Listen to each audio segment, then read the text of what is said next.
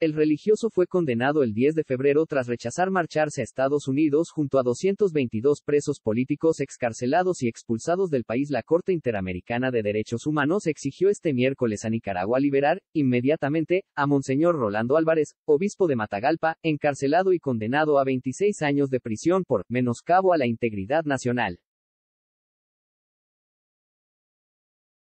La Corte IDH, con sede en San José, dispuso requerir al Estado de Nicaragua para que de forma inmediata proceda a la liberación de Monseñor Rolando José Álvarez Lagos, obispo de Matagalpa, asimismo para que adopte las medidas necesarias para proteger eficazmente su vida, salud e integridad personal, informaron desde el Tribunal Continental a través de una resolución, Álvarez fue condenado el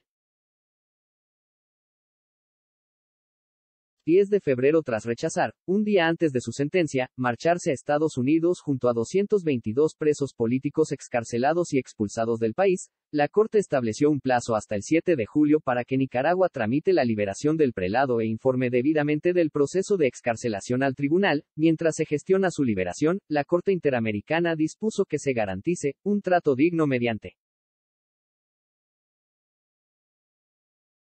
el acceso inmediato a servicios de salud, medicamentos y alimentación adecuada, así como a facilitar su contacto con familiares y abogados, el caso de Álvarez es uno de los temas de tensiones entre el régimen de Daniel Ortega y la Iglesia Católica, mientras las relaciones diplomáticas de Managua con el Vaticano están al borde de la ruptura, a inicios del pasado marzo, el Ministerio de Relaciones Exteriores nicaragüense sostuvo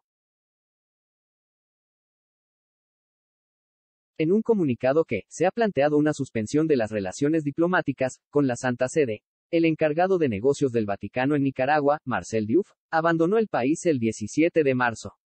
Hace un año Ortega expulsó al nuncio Waldemar Stanislao. Sommertag. El 10 de febrero, un día después de la excarcelación y expulsión de los 222 presos, un tribunal condenó al obispo Álvarez a 26 años y 4 meses de cárcel y al pago de una multa de 1.600 dólares. Además, lo privó de su nacionalidad nicaragüense y de sus derechos ciudadanos a perpetuidad.